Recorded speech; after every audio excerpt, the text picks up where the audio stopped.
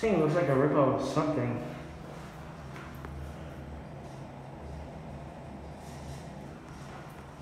I don't even know the serial number of that thing.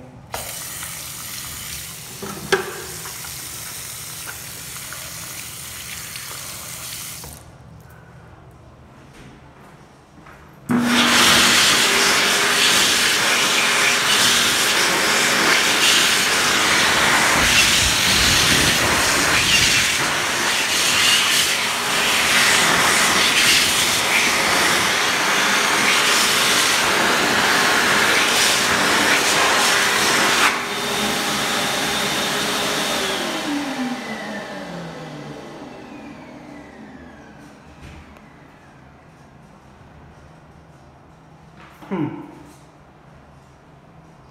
Kind of sounds like a ripoff of Xlerator, but this doesn't look like an Xlerator to me. Interesting.